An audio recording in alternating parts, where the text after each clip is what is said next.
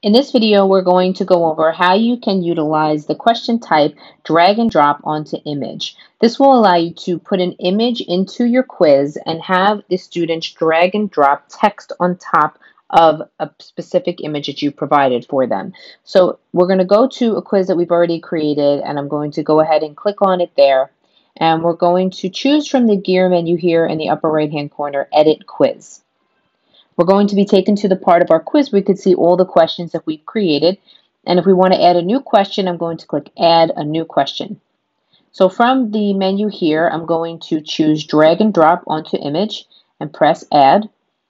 And there's a few steps to this that I'm going to show you. And in this example, we're only going to go over what it's like to add an image and then how to add text boxes on top of that image. So we're going to give the question name here.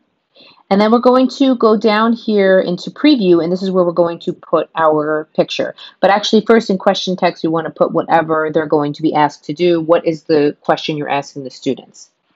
So there's my question text. And here under preview, I'm going to add a background image. So I'm going to click choose a file, and I'm going to select that file from my computer. So I'm going to click choose file, and then I want to click on choose file again. And you can see I've selected my file here from my hard drive and I'm going to click upload this file. So now I've got my image here and this is the map that I'm looking to use.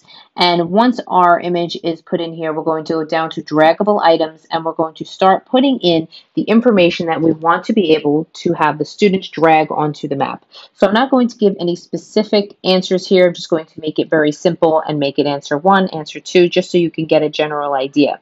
But the important thing you want to do in this case here under draggable item 1 is we want to change the type from draggable image to draggable text. Since we're not adding an image, we don't have to worry about this section here. We just have to worry about the text. So anything we write in these text boxes will then show up as something the student can drag into the place on the map. So again, I'm going to just fill in these boxes with answers 1 through 6.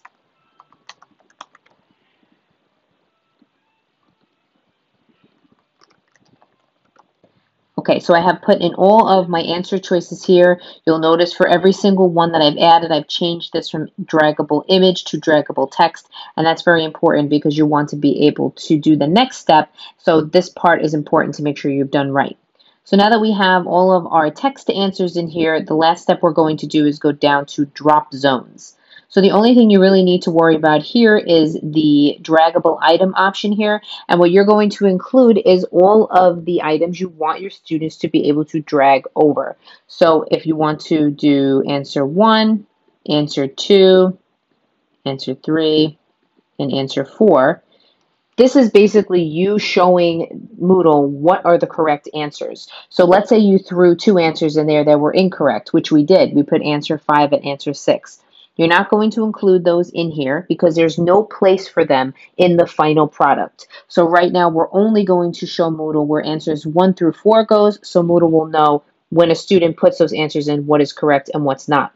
And if a student does plug in answer 5 or answer 6, Moodle will know to mark that answer wrong. So I'm going to go back up to my image here at the top. And you're going to see that in the top left corner, my text boxes have shown up. So now I'm going to just find the places on the map which correspond to the text answer. And when we're done, we're just going to scroll down and click Save and Return to Course, or just Save Changes.